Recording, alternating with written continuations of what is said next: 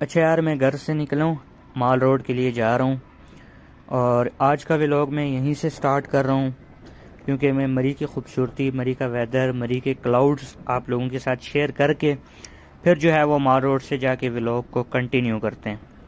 अच्छा ये नीचे वाटरफॉल होके जा रहा है, नीचे खाई है, इससे पहले आपसे काफ़ी दफ़ा शेयर हो चुकी है, जो लोग हमारे चैनल पे ओल्ड हैं, उनको पता होगा। और यार ये लोकल बस में मैं इस टाइम पे ट्रैवल कर रहा हूँ, जो कि रावलपिंडी से मरी के लिए आ रही होती है, उस बस में मैं ट्रैवल कर रहा हूँ। आपको पता है, मौसम जो है वो मरी का काफ़ी ज़्यादा ठंडा है, जिसकी वजह से यहाँ पे बाइक वगैरह तो नहीं यूज़ कर सकते। सामने ही उस, सामने वाली पहाड़ी पे मेरा घर है, इससे पहले काफ़ी दफ़ा आप लोगों के साथ शेयर हुआ। मैं आपको बताना चाहूँगा कि आहिस्ता आहिस्ता हमारा मौसम जो है वो मरी का भी गर्म होता जा रहा है। हम लोग आहिस्ता आहिस्ता मौसम गर्मा की तरफ़ मूव करते जा रहे हैं। इससे आगे अब हमें स्नो के चांसेस बिल्कुल भी दिखाई नहीं दे रहे। अब मुश्किल ही है मरी के अंदर कोई स्नो वगैरह हो रही हो। सो इस सिलसिले में यार वेदर आहिस्ता आहिस्ता इंशाल्लाह रोज़ाना की बेस पे गर्म होता रहेगा। इंशाल्लाह ये जो इस मार्च की फ़र्स्ट तारीख है, इस पे हम लोग अपना बाइक भी जो है वो यूज़ करना स्टार्ट कर देंगे, क्योंकि उस टाइम पे उम्मीद है वेदर काफ़ी अच्छा हो जाएगा। सो इंशाल्लाह, फिर जब बाइक होगा अपने पास यूनिवर्सिटी भी इंशाल्लाह ऑन हो जाएगी तो रोज़ाना की बेस पे अच्छे अच्छे व्लॉग्स आपके साथ शेयर होते रहेंगे। चलते हैं माल पे, वहाँ पे डी अस्सलाम everyone friends welcome to your own channel only for you अच्छा यार, उम्मीद है आप सब लोग हैरियत से होगे। अच्छा फ्रेंड्स काफ़ी दिनों से हमने कैंट एरिया वाली साइड का जो है वो रिव्यू आप लोगों के साथ नहीं किया, आज वहाँ पे काफ़ी ज़्यादा खूबसूरत मनाजिर होंगे। तो इस सिलसिले में आज हम जीपीओ चौक को स्किप करते हुए कैंट एरिए की तरफ़ मूव करते हैं। बहुत खूबसूरत मनाजिर होंगे। वैसे मैं शॉर्ट सा जीपीओ चौक का व्यू आपको देना चाह रहा था कि कैसे मनाजिर हैं। बकाया वेदर आज का तो आपने बड़ी बड़ी खूबसूरत खूबसूरत ऊँची ऊँची पहाड़ों पे ज़रूर देखा होगा।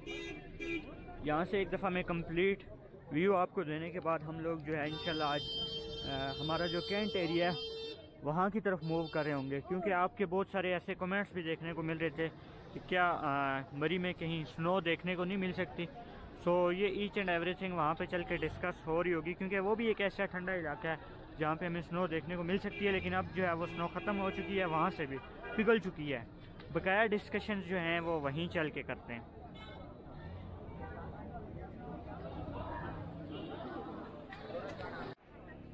अच्छा फ्रेंड्स यहाँ पे भी, यानी कि माल रोड के मिड पे भी हमें टूरिस्ट का आज अच्छा बुला रश देखने को मिल रहा है। उसकी वजह चलें आगे चल के मैं कैंट एरिया में आपको बताता हूँ कि क्या वजह है। आजकल कोई वीकेंड भी नहीं है, आपको पता है। आज वर्किंग डे है ट्यूसडे है सॉरी मंडे नहीं। ट्यूसडे है आज ट्यूसडे को आपका ये व्लॉग शूट हो रहा है। सो इस दिन भी आपको यहाँ पे हल्का फुल्का जो है वो टूरिस्ट का रुझान देखने को मिल रहा है। टाइम में आपको बताना चाहूँगा किस टाइम पे आज का व्लॉग शूट हो रहा है। अगर आप इस इतनी बड़ी सी घड़ी से टाइम अगर देख गए तो आपने मुझे कमेंट सेक्शन में ज़रूर बताना है, जो आपने टाइम पे छाना होगा कि क्या टाइम है जिस टाइम पे आज का आपका व्लॉग शूट हो रहा है। तो यार देखें आप टाइम क्या टाइम है। उम्मीद है आपने गेस कर लिया होगा कि क्या टाइम है। और यहाँ से आप मार रोड पे टूरिस्ट की चहल पहल भी देख सकते हो यार। हर तरफ़ से टूरिस्ट जो है वो चलते फिरते हुए आ रहे हैं। देखा आपने? हर तरफ़ आज आपको टूरिस्ट देखने को मिल रहे हैं। लेकिन अफसोस कि स्नो नहीं है। वेदर आप देखो यहाँ से। हमारा स्काई क्लाउड से फिल हुआ हुआ है। लेकिन आज का मौसम इतना खूबसूरत है, यानी कि गर्म मौसम है। जैकेट्स वगैरह जो हैं, आप देख सकते हो टूरिस्ट वगैरह ने उतार लिए हैं। और मैंने भी जैकेट जो है वो उतार के हल्का सा एक स्वेटर सी पहनी हुई है।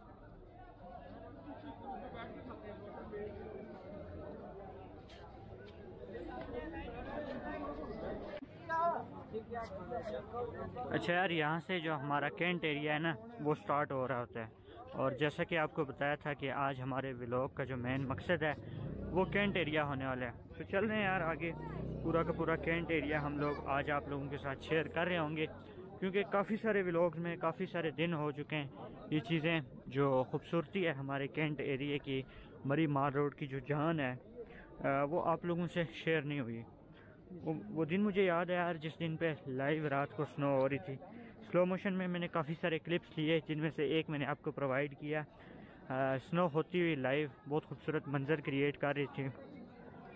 सो इंशाल्लाह ये कुछ वीडियोस जो हैं वो मैं एंड स्क्रीन पे आपको प्रोवाइड करूँगा जो रिसेंट या लास्ट स्पेल हमें स्नो का मरी के अंदर देखने को मिला था। उस टाइम पे मैं खुशकिस्मती से माल रोड का व्लॉग शूट करते हुए वापस घर की तरफ़ जा रहा था। लेकिन नीचे जनरल बस स्टैंड पे पहुँचते साथ ही, अल्हम्दुलिल्लाह, मरी में इतनी ज़्यादा लाइव बहुत स्पीड से तेज़, तेज़ी से स्नो जो है वो स्टार्ट हो चुकी थी। सो उसी टाइम पे मैंने ये डिसीज़न लिया कि यार नहीं, मुझे वापस माल पे जाना होगा। ये खूबसूरत किस्म के जो मनाजिर हैं, इनको ज़रूर कैप्चर करना होगा। सो यार, आज भी वो दिन काफ़ी ज़्यादा जो हैं वो याद आ रहे हैं। काफ़ी ज़्यादा उस टाइम पे लाइव स्नो होती हुई दिखाई दे रही थी। बहुत खूबसूरत मनाजिर थे। मैं आपको रिकमेंड करना चाहूँगा तो वीडियोस चल के देखिएगा। मैं एंड स्क्रीन पे प्रोवाइड कर दूँगा। सो यार, जैसा कि मैंने आपसे डिस्कस किया था मिड ऑफ़ व्लॉग में, कि मैं आपको बताना चाहूँगा, आजकल कोई वीकेंड भी नहीं है सो इसकी वर्किंग डे है, तब भी यहाँ पे माल रोड पे हमें टूरिस्ट का रुझान क्यों देखने को मिल रहा है? फ्रेंड्स मैं आपको बताना चाहूँगा हमारी जो यूनिवर्सिटीज़ हैं कॉलेज हैं स्कूल्स हैं, इसके अलावा मुख्तलिफ़ कंपनीज़ और इसके अलावा मुख्तलिफ़ डिपार्टमेंट से आजकल जो है वो मरी में टूरिस्ट आ रहे हैं। ये टाइम टूरिस्ट ने चूज़ किया है। सो उसकी वजह ये है, ये टाइम चूज़ करने की जो मेन चीज़ आज के ब्लॉग की, मैं आपको वजह बताना चाहूँगा कि आजकल यहाँ पे ना जो फैमिली वाले लोग हैं, वो इतना नहीं आते, क्योंकि लाइफ स्नो नहीं है और इसके अलावा छुट्टियाँ वगैरह नहीं है। तो इसमें ना ये यूनिवर्सिटीज़ वाले और इसके अलावा कॉलेज़ वाले, ये जो सब डिपार्टमेंट मैंने आपको बताया, ये लोग बहुत फ़ायदा उठाने की कोशिश करते हैं क्योंकि ये लोग ज़्यादा होते हैं, इनके पूरे के पूरे डिपार्टमेंट की ट्रिप होती है। सो ज़्यादा लोग की होने की वजह से ना इनको अगर ये रश क्राउड के दिनों में आए तो इनको रूम काफ़ी महँगा दिखाई दे रहा होगा। लेकिन आजकल मरी में फैमिली वाले लोग नहीं आ रहे, जिसकी वजह से यहाँ का रूम रेंट जो है, वो काफ़ी ज़्यादा मुनासिब है, काफ़ी ज़्यादा मुनासिब है। हमारी यूट्यूब फैमिली में से भी रात को एक भाई ने सेवेंटी फाइव हंड्रेड में माल रोड के ऊपर अच्छा सा एक होटल लिया है दो दिन के लिए। देखें सेवेंटी फाइव हंड्रेड में। उस टाइम पे सेवेंटी फाइव हंड्रेड में एक रूम भी नहीं मिल रहा होता था स्नो के दौरान। लाइव टूरिस्ट के यहाँ पे इंटरव्यू जारी किए थे मैंने इस ब्लॉग पे। आप लोग चल के एक्सप्लोर कर सकते हो। बेचारे वो स्टूडेंट थे, वो कह रहे थे हमने माल रोड से हट के सेवन थाउज़ेंड फाइव हंड्रेड में रूम लिया है। यानी कि सेवेंटी फाइव हंड्रेड में एक दिन के लिए, वो भी माल रोड से हट के।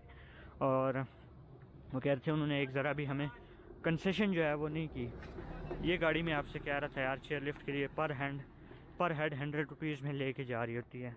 तो अभी चेयर लिफ्ट तो आई थिंक फोर थर्टी पे ऑफ़ हो चुकी हुई होती है। सेवन फिफ्टी पर हेड उसका किराया है। आपके साथ उसका भी कंप्लीट रिव्यू मैंने किया हुआ है। वहाँ पे होटल वगैरह के रिलेटेड भी ईच एंड एवरीथिंग हर इन्फो मैंने आपको प्रोवाइड की हुई है, उसके रिलेटेड भी हमारे चैनल पे पूरी की पूरी प्ले लिस्ट है।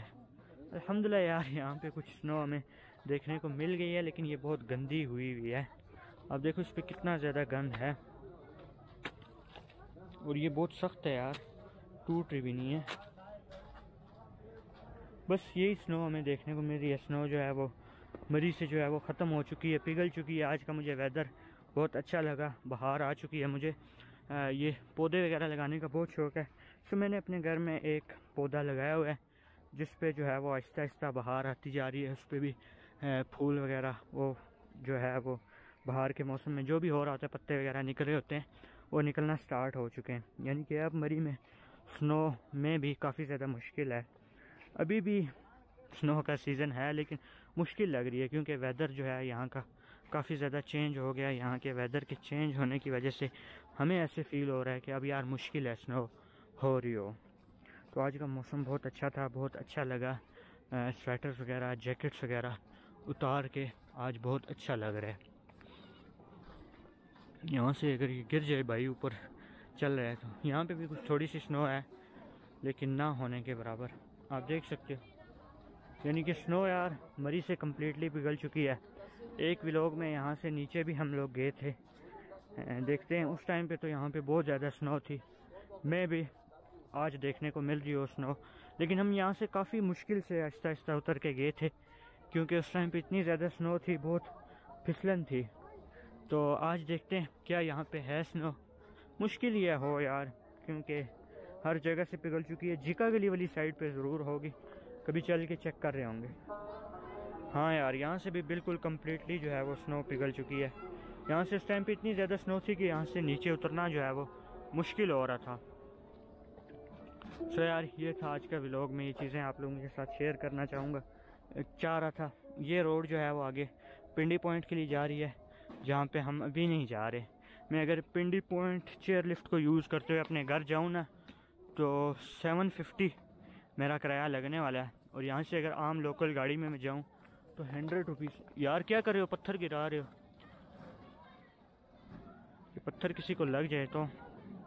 अच्छा मैं आपको बताना चाह रहा था, ऐसे अगर आम गाड़ी में मैं जाऊँ तो पचास रुपया मेरा किराया लगेगा, पचास जाने का, पचास आने का। और अगर चेयर लिफ्ट को यूज़ करते हुए जाऊँ तो सेवन फिफ्टी लगेगा। ये चेयर लिफ्ट बिल्कुल हमारे घर के पास चल के इसका स्टॉप है। मेरे घर से चेयर लिफ्ट पे आई थिंक पाँच मिनट लगते हैं। सो यार, ये था आज का व्लॉग मुझे उम्मीद है आप लोगों को ज़रूर पसंद आया होगा. अपनी राय का इजहार जो है वो कमेंट सेक्शन में ज़रूर कीजिएगा. बस मैं यही आज के व्लॉग में कहना चाह रहा था. स्नो जैसी खूबसूरत चीज़ मरी से ख़त्म हो चुकी है. Thank you